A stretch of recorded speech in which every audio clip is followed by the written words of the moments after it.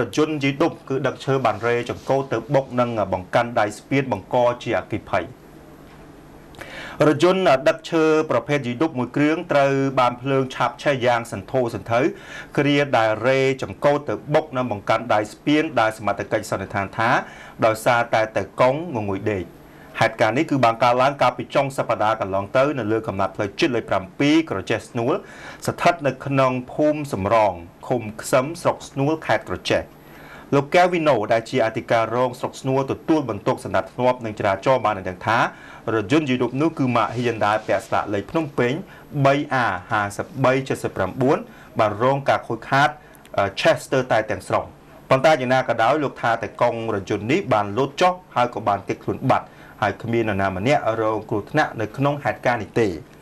រហូតមកដល់ពេលនេះគេមិនទាន់ដឹងថារថយន្តដែលដឹកឈើរងការឆាបឆេះនោះជារបស់ក្រុមហ៊ុនលោកអង្ញាណានៅឡើយនោះទេ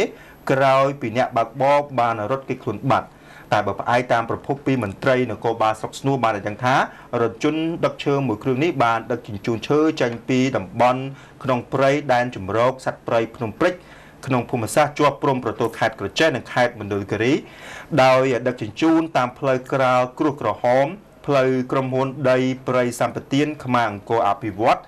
ហើយឆ្លងកាត់ស្រុកស្នួរខេត្តក្រចេះចូលទៅក្នុងស្រុកមេមត់ខេត្តត្បូងឃ្មុំតើតងទៅនឹងករណីឈើខាងលើរយន្តនោះតើតងទៅនឹងករណីខាងលើលោកប្រាក់សម្បូរដែលជានាយផ្នែករដ្ឋបាលប្រៃឈើឆ្លងស្នួល បានបញ្ជាក់ប្រាប់ ANN ថាវាគឺជាអុសបើអុសសក្រមទេ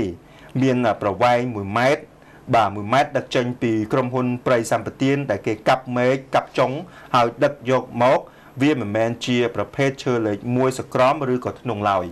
ហើយក៏មិនដឹងថាជារបស់ក្រុមហ៊ុនណាឡើយព្រោះភ្លាមភ្លាមក្រោយពេលកាត់ហេតុអ្នកបើកបរបានគេចខ្លួនបាត់លោកថាឈើទាំងនោះត្រូវបានដឹកយកទៅរក្សាទុកនៅស្នាក់ការផ្នែកបានប្រមាណជា10ស្ទះ